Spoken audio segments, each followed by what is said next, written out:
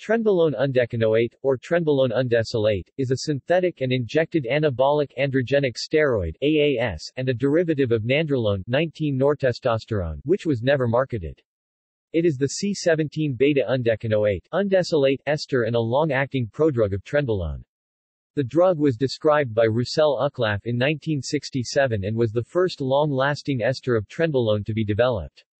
Subsequently, trenbolone hexahydrobenzyl carbonate, a roughly equivalent compound, was developed and introduced for use in humans in 1980, though it was discontinued in 1997. Trenbolone enanthate is another long-lasting ester of trenbolone. Similarly to trenbolone undecanoate, it was never marketed, but it has been sold on the black market as a designer steroid for bodybuilders and athletes. See also List of androgen esters section Trenbolone esters References Further reading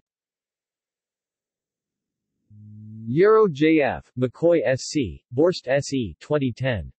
Tissue selectivity and potential clinical applications of trenbolone 17 beta HYDROXYESTRA4 9 11 trion 31 a potent anabolic steroid with reduced androgenic and estrogenic activity.